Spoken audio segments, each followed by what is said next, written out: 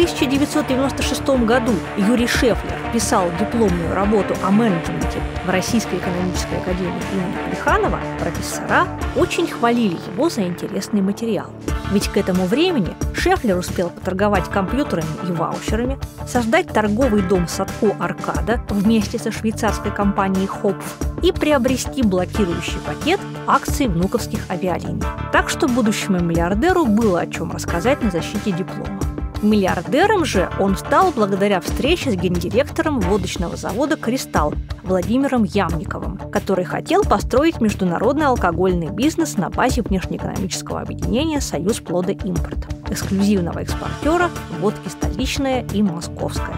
В 1997 году Ямников умер из-за болезни, но Шефлер воплотил его мечту в жизнь. Он скупил акции «Союз плода импорта» и переоформил регистрацию всех советских водочных брендов на свою компанию SPI. Но это не понравилось министру внутренних дел и генеральному прокурору, которые пожаловались на Шефлера Путину.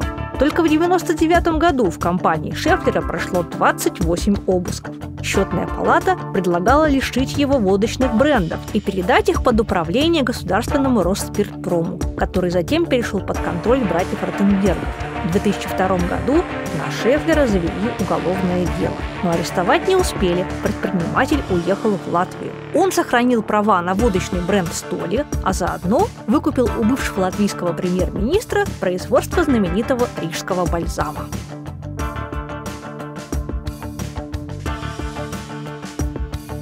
Юрий Шефлер владеет одной из самых длинных и дорогих в мире яхт – «Сирен». Стоимость недели аренды судна оценивается в 5 миллионов долларов.